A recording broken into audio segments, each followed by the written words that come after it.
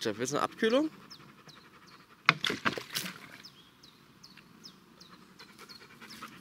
Das findet er nicht so geil.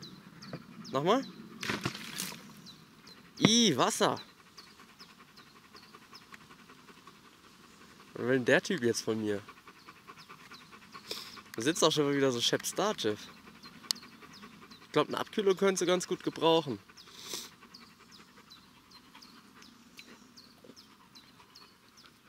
Ich glaube, der ist nicht so begeistert von der Idee.